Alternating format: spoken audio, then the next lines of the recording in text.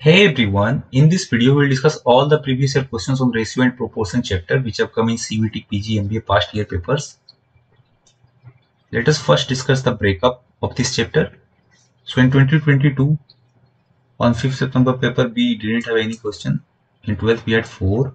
So this weightage was very high. 2021 we had 1. There was again no question in 2020 and 2019 we had 2 questions. Now, if you want to join our telegram group so the link will be in description. You can find pdfs there notification for video lectures some quizzes. So this will be highly beneficial for you if you want to join you can always join. Okay so let's discuss the first question. The ratio of a age of pawan to richa is 9 is to 10 10 years ago this ratio was 4 is to 5 what is the present age of richa? So this question is from 12th september. So this is a very famous pattern of questions in ages, which is nothing but a application of ratio and proportion. So we have Pawan, let's say P for Pawan and R for Richa. So currently, let's say this is present. So present the ratio is 9 is to 10. 10 years ago, so minus 10. Let us say present minus 10 we had ratio 4 is to 5 now what is the percentage of Richa so you want to find the value this one. Now in the ages there is a very important concept. So let's say there are two persons A and B. Let's say this person age is 5 years and this person age is 8 years. Okay. Let's say I move to 3 years in future. So this person age will be 8 and this would be 11 so if you notice here, in both the instances, we have three year difference, right? Three year difference is here, three year difference is here. It means that the age difference is always constant. Each constant. So this is a very important tool to solve all the questions related to ages because it is logical as well, right? Once two persons, we know the age of two persons. If we move any time ahead in the future or if we move any time back in the past the difference is always going to be the same so here Pawan and Richa the difference here 10 years ago and the difference in the present both should be same right? So here the difference is of one unit and here the difference is of one unit. So we don't need to worry about because both are same. Now next thing is if you notice here the difference here is 5 and the difference here is again 5 so we can say that 5 unit is equal to 10 years right so how many years would be 10 unit? So 10 unit would be equal to 10 into 2 20 years. Option b so i hope the concept of ages chapter is clear to you. This is a very important concept that age difference is always constant. So you can always use that. Now let us move on to the second question. Three numbers A, B, C are in the ratio 12, 15, 25 with the sum of these numbers is 3, 1, 2. The ratio of difference of B and A and to the difference of C and B each. So this again is 12 September. Now here many students they will do a long method which is not at all recommended. So let us discuss first the long method. So what they will do is A is to B is to C and we have 12 15 25 and sum is 312 so if we add them up 27 52 units is equal to 312 so one unit is equal to 312 by 52 if you divide then you get 6 now here they will assign this. So they will say that 12 into 6 this would be 72 this would be 90 this would be 150 and then we'll find the ratio of difference. B minus a is to c minus b. So b minus a would be 15 minus 12 3 c minus b would be oh sorry not units but these things these values. So b minus a 90 minus 70 to 18 c minus b 150 minus 90 60 if you cancel 3 is to 10 so you, you will get 3 is to 10 now this is correct answer but we don't have to do this right? So let's say if you notice here can I say that these numbers are in 12k 15k and 25k because we have a ratio so let's choose a multiplier k So we can say that these numbers is 12k, 15k, 25k. Now if I do the difference one, so we can say 15k, b minus a is 15k minus 12k and c minus a is 25k minus 15k. From here we get 3k, here we get 10k, k would get cancelled out, we will get 3 by 10 that is 3 to 10. So if you notice here k was cancelled, right? So once you know that the that your multiplier would get cancelled out, then you can directly do this. So what you can do is you can directly say that b minus a, you can you can manipulate ratios only. So you can say 15 minus 12 is my first ratio. 15 minus 12 is my first value b minus a and my second value is 25 minus 15 25 minus 50 sorry okay let us this is getting so 15 minus 12 is the first value b minus a and c minus b is c minus b is 25 minus 15 25 minus 15 so we get 3 is to 10 so you can directly get your answer using ratios only. You don't have to do anything extra. You can directly apply on ratios and why are we applying on why are we able to apply on the ratios? Because my multiplier is getting cancelled. Multiplier is getting cancelled. So don't blindly apply this method in all the questions because in some questions you'll find that your multiplier is not going cancelled. Okay. So you should be smart enough to quickly notice whether your multiplier will get cancelled out or not if you notice that multiply is being cancelled out then you can directly apply on the ratios and you will get your answer. Okay?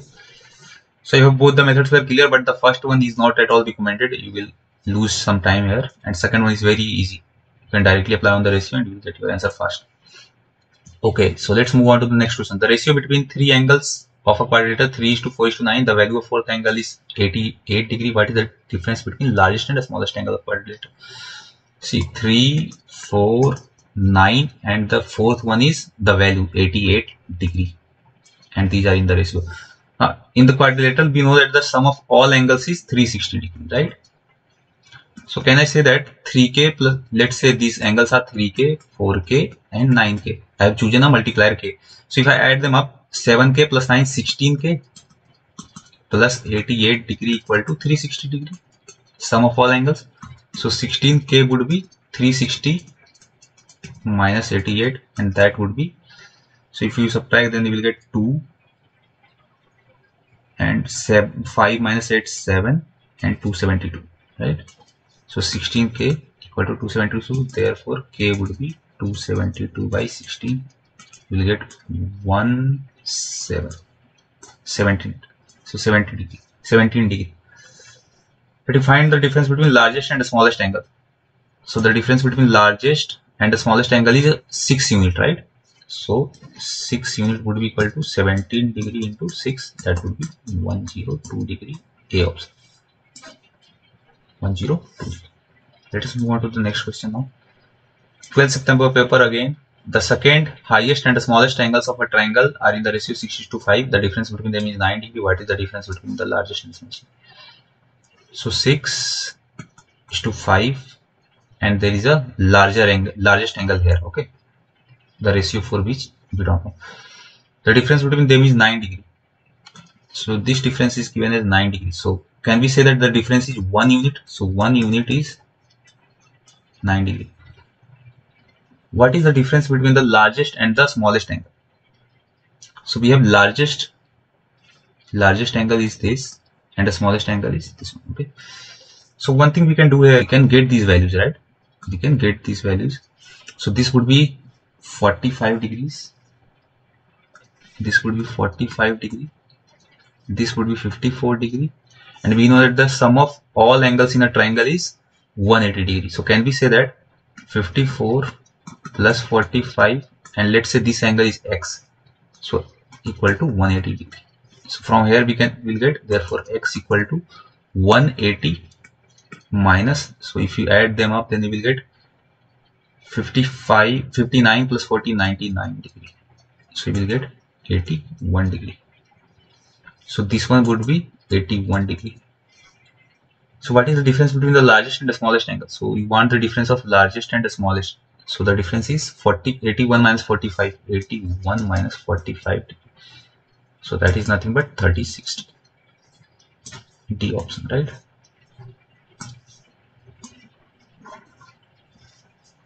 So I hope this question was clear to you. Once you know that one unit is equal to 9 degree, then easily you can find these two values, right? And obviously then third value will be easily known. So let us move on to the next question. This one is from 2021. The numbers are in the ratio 4 is to 5 is to 6 and their average 25, the largest number is. So we have 4 is to 5 is to 6. So can I say that my numbers are 4k, 5k, 6k? Let us assume there is a multiplier k. And the average of this is 25. Now this I have discussed earlier as well that if you know that your numbers are in AP, so if you notice here the difference is k, the difference is again k, so these three numbers are in AP, we know that then your average is the middle term if the number of terms in the AP is odd. So here we have three terms, right? Three terms which is odd. So we can say that my average would be middle term 5k. Otherwise you can also calculate if you add them up 4k plus 5k plus 6k by 3 that would be 9 plus 6 15 by 3 5k right so in that way also you will get 5k so my 5k equal to it is given as the average is 25 so therefore k will be equal to 5 so my multiplier is 5. So the largest number is 6. 6k. Largest number is 6k. So we'll get 6 into 5 equal to 30. That would be A. So option A. Next question, rupees 180 is to be divided among 66 men and women. The sum of men share and women share are in the ratio 5 to 4, but individual shares are in the ratio 3 to 2. The number of men is. So we are given 66 total men and women the sum of main share is 5 is to 4 so let's say 5 is to 4 so can we say that 5k 5k and 4k this is for men and women and individual shares are in the ratio 3 to 2 so let's say 3k dash and 2k dash. Because we will need different multipliers right? We can't take the same multiplier. Now what is the number of men? Okay. So this rupees 180 is redundant. We don't even need to worry about this one. So the ratio of men would be, so let's say these are the, these are the share of men and women. And these are the this is total sum actually sum of share. And this is individual share. Individual set. So can we say that 3k dash into let's say the number is let's say the number of men is x okay? So 3k dash into x divided by 2k dash into 66 minus x. This would be women this ratio is given as 5 k sorry 5k by 4k I can cancel this out kk this would also get cancelled out. So from here we got 3x y. Let us solve this into the next is 3x by 2 into 66 minus x. 3x into 3x divided by 2 into 66 minus x equal to 5 by 4 I simply have to solve this. So you will get 12x equal to 10 into 66 minus x.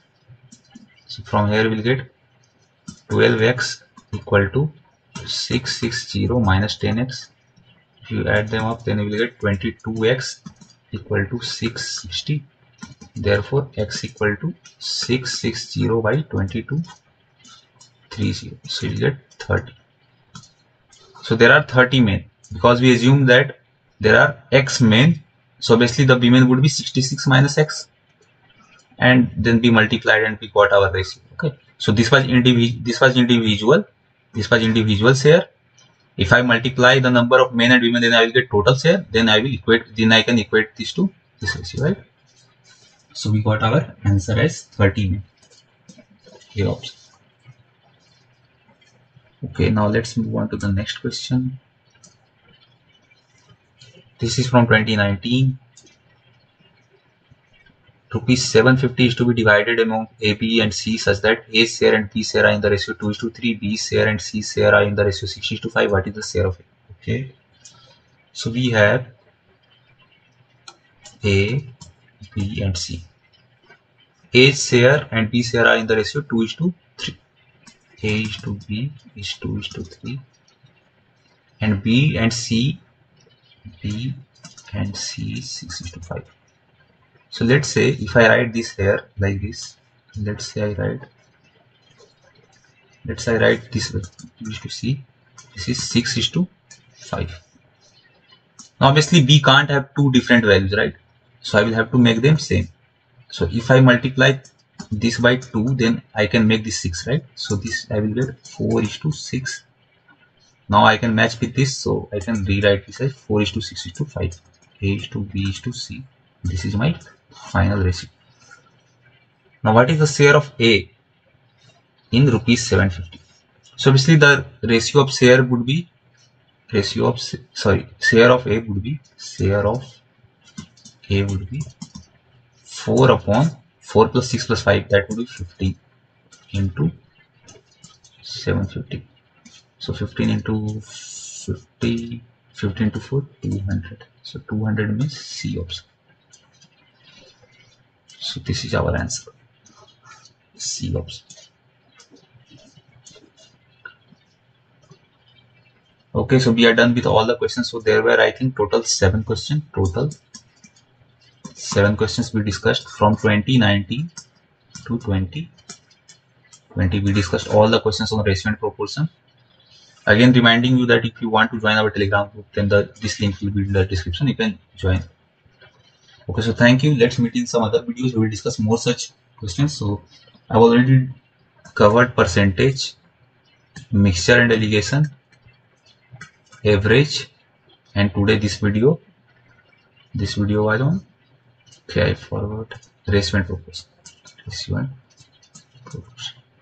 there will be more such chapter wise previous year questions on CUET PGMBA and all of them are highly beneficial so watch them all watch all these videos so that you can get a hang of okay so let's meet in some other videos thank you